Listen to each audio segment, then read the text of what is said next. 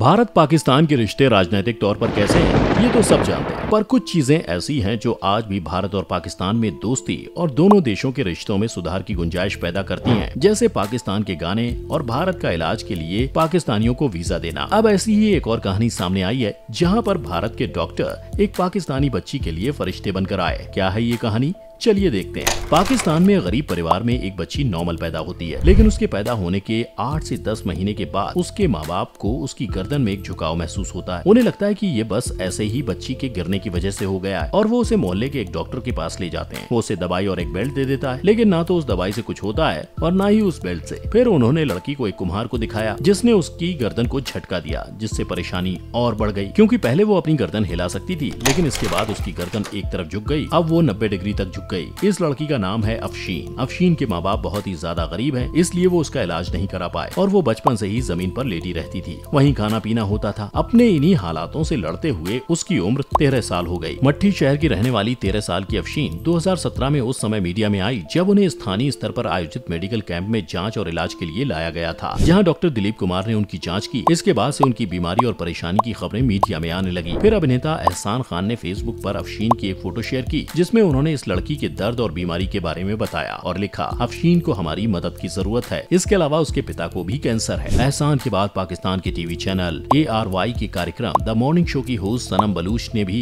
अफशीन और उसकी माँ जमीला बीबी को आमंत्रित किया, जिसके बाद सोशल मीडिया पर अफशीन की तकलीफ़ और बीमारी पर बहुत बातें होने लगी। पाकिस्तान की सरकार नाम के लिए सामने आई और फिर गायब हो गई सोशल नेटवर्किंग साइट ट्विटर पर जब अफशीन की तस्वीरें वायरल हुई तो पीपीपी की नेशनल असेंबली की सदस्य नाज बलोच ने ट्विटर पर लिखा कि सिंध सरकार की तरफ़ से अफशीन का पूरा इलाज कराया जाएगा। इसके बाद उन्हें आगा खान अस्पताल में भर्ती कराया गया, जहाँ डॉक्टरों ने उनकी जाँच की। इसके बाद पीपीपी की नेता फरहाल तालपुर ने संज्ञान लिया और अब वो खुद अफशीन के पूरे इलाज की निगरानी कर रही है। अफशीन कुछ वक्त तक आगा खान अस्पताल में रही। इसके बाद उनके माता पिता उन्हें अपने साथ ले गए। अस्पताल में अफशीन के भाई याकूब कंभर को डॉक्टरों ने बताया कि इस ऑपरेशन के दौरान उनकी जान बचने की संभावना पचास प्रतिशत है। अफशीन के माता पिता ने इसके बारे में सोचने के लिए डॉक्टरों से समय मांगा और उसके बाद बहन की शादी में व्यस्त हो गए और अफशीन का इलाज पूरा नहीं हो सका। उनके भाई का कहना है की बहन की शादी के बाद उन्होंने परिवार को समझाया, फिर पीपीपी के नेताओं और सिंध सरकार से संपर्क किया, लेकिन कोई सकारात्मक जवाब न मिलने पर वो निराश हो गए। Australia, Covid, Bharat. अब आता है साल 2019 ब्रितानी अखबार की एक रिपोर्टर अलेक्जेंड्रिया थॉमस ने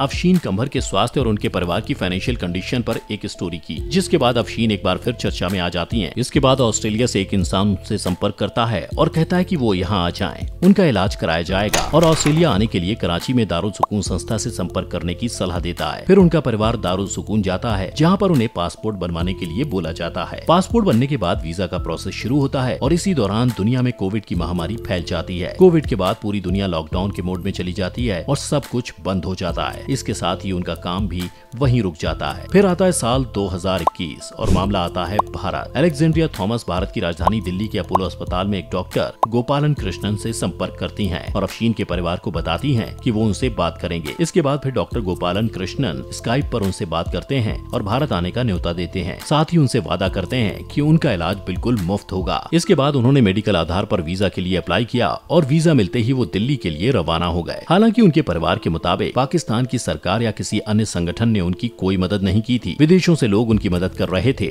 जिसके ज़रिए वो साल 2021 नवंबर में भारत पहुँचे। भारत में ऑपरेशन और सहायता के लिए अपील। फंड इकट्ठा करने वाली वेबसाइट गो फंड मी पर याकूब कंभर ने मदद की अपील की। पहले चरण में उन्हें उनतीस हज़ार डॉलर मिले। भारत में इलाज और खर्च के लिए उन्होंने दोबारा अपील की। अफशीन की एक तरफ़ झुकी हुई गर्दन की एक बड़ी सर्जरी से पहले उनके दो ऑपरेशन किए गए। इसके बाद एक बड़ा ऑपरेशन किया गया। अफशीन के भाई याकूब कंभर ने कहा कि इस दौरान उनका कई डॉक्टर से संपर्क हुआ, लेकिन उन्होंने डॉक्टर कृष्णन जैसा रहम दिल डॉक्टर नहीं देखा था। उनकी कोशिशों से ये ऑपरेशन सफल रहा। इलाज न मिलने पर जान जाने का खतरा था। ऑपरेशन की सफलता के बाद डॉक्टर कृष्णन ने मीडिया को बताया कि उनसे मिलने के बाद ये स्पष्ट हो गया था कि अगर इलाज नहीं किया जाता तो वो ज़्यादा समय तक ज़िंदा नहीं रह सकती थी। उनके अनुसार, शायद दुनिया में ये अपनी तरह का पहला मामला है। दिमागी तकलीफ़ के कारण अफशीन ने छह साल की उम्र में चलना और बोलना सीखा, लेकिन उसकी गर्दन एक साल की उम्र में ही झुकने लगी थी। सबसे पहले दिसंबर की शुरुआत में उन्हें हेली ग्रेविटी ट्रैक्शन लगाना पड़ा, ताकि कुछ समय के लिए उनकी गर्दन सीधी हो जाए। डॉक्टर कृष्णन की टीम में doctor Manoj Sharma,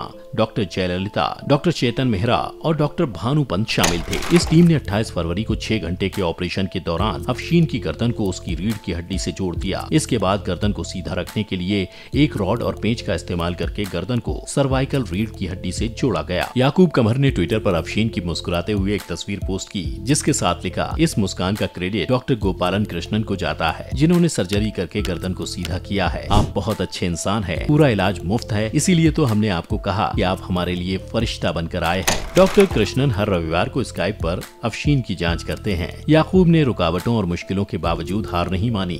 लगातार कोशिश करते रहे और आखिरकार पाकिस्तान के एक पिछड़े इलाके का एक युवक जो खाली हाथ था, अपनी बहन का ऑपरेशन कराने में कामयाब हो गया और अब वो मुस्कुराती है और बातें करती है। आपको क्या लगता है कि ऐसे केस दो देशों को एक साथ ला सकते हैं? हमें कमेंट में ज़रूर बताएँ। अगर वीडियो आपको पसंद आई हो तो इसे लाइक और शेयर करें और चैनल को सब्सक्राइब करना ना भूलें।